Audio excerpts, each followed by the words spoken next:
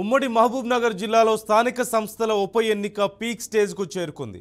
ఈ నెల ఇరవై ఎనిమిదిన జరగనున్న పోలింగ్కు అధికారులు ఏర్పాట్లు చేస్తున్నారు. అయితే పోటీలో ఉన్న అభ్యర్థులు మాత్రం తమ ఓటర్లు చేయి జారిపోకుండా ఉండేందుకు క్యాంపులకు తరలిస్తున్నారు.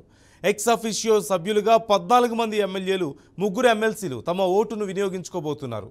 స్థానిక సంస్థల ఎమ్మెల్సీగా ఉన్న కసిరెడ్డి నారాయణ రెడ్డి రాజీనామా చేసి ఎమ్మెల్యేగా గెలవడంతో ఉప ఎన్నికను నిర్వహిస్తున్నారు. దీనిపై మరింత సమాచారం మా ప్రతినిధి వెంకటేష్ అందిస్తారు. దేశమంతా కూడా పార్లమెంట్ ఎన్నికల్లో నిమగ్నమే ఉంటే ప్రత్యేకంగా మహబూబ్నగర్ జిల్లాలో మాత్రము స్థానిక సంస్థల ఎమ్మెల్సీ ఉప ఎన్నికల్లో మాత్రము నేతలంతా కూడా నిమగ్నమై ఉన్నారు. ఇందులో భాగంగానే మహబూబ్నగర్కు మహబూబ్నగర్ జిల్లాకు సంబంధించినటువంటి స్థానిక సంస్థల ఉప ఎన్నిక ఈ నెల ఇరవై తేదీన జరుగుతుంది. అయితే ఈ నేపథ్యంలోనే ఇక్కడ స్థానిక సంస్థలకు సంబంధించినటువంటి జెడ్పీటీసీలు మున్సిపల్ కౌన్సిలర్స్ అట్లాగే ఎంపీటీసీలు వీళ్ళందరినీ కూడా ఓట్ల కోసం కూడా ఇక్కడ ఉన్నటువంటి కాంగ్రెస్ పార్టీ అట్లాగే బీఆర్ఎస్ పార్టీకి సంబంధించిన నేతలంతా కూడా వాళ్ళ ఓట్ల కోసం కూడా వీళ్ళు ప్రచారం చేస్తున్న పరిస్థితి కనిపిస్తున్నది.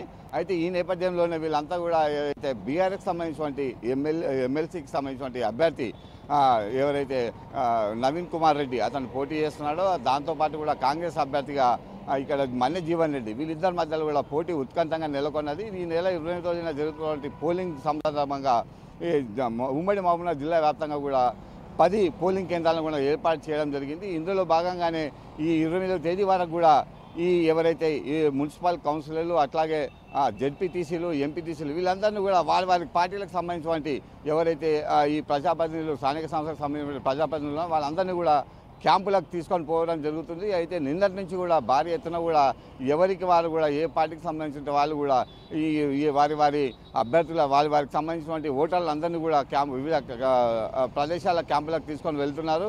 ముఖ్యంగా గోవా మద్రాసు అట్లాగే హైదరాబాద్ చుట్టుముట్టు ప్రాంతాలకు కూడా పెద్ద ఎత్తున కూడా వీళ్ళందరినీ కూడా క్యాంపులు తరలించి ఇరవై తేదీన కూడా వాళ్ళందరినీ కూడా ఓటు వేసే వేసేందుకు కూడా వాళ్ళందరినీ కూడా ఇక్కడికి తీసుకొచ్చేందుకు కూడా పెద్ద ఎత్తున కూడా క్యాంపులు ఏర్పాటు చేయడం కానీ ఈ క్యాంపులు అనేది కూడా ఆయా నియోజకవర్గం సంబంధించినటువంటి అయితే పార్టీకి సంబంధించిన ఇన్ఛార్జీలను కూడా నియమించడం జరిగింది.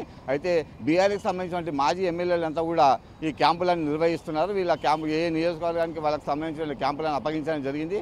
అయితే ఒక పక్క బీఆర్ఎస్కి దాదాపుగా తొమ్మిది వందల తొంభై మంది ఓటర్లు ఉండగా ప్రస్తుతానికి కూడా వీళ్ళంతా కూడా దాదాపుగా సగానికి సగం కాంగ్రెస్ పార్టీలో చేరడంతో కూడా వారు కొంచెం ఓటు సంఖ్య తగ్గిపోవడం జరిగింది. అయితే ఈ ఓట్లను కూడా వాళ్ళందరూ మళ్ళీ తిరిగి తీసుకునేందుకు కూడా విశ్వ ప్రయత్నాలు చేస్తున్న పరిస్థితి కనిపిస్తున్నది. అయితే మొత్తం మీద కూడా రసవత్తరంగా ఈ స్థానిక సంస్థల ఎన్నికలు జరుగుతున్నాయి. ఈ నెల ఎనిమిది ఇరవై తేదీన కూడా పది కేంద్రాల్లో మొత్తం ఉమ్మడి మామూలు జిల్లాలో ఉన్నటువంటి పది కే పోలింగ్ కేంద్రాలను కూడా ఏర్పాటు చేయడం జరిగింది.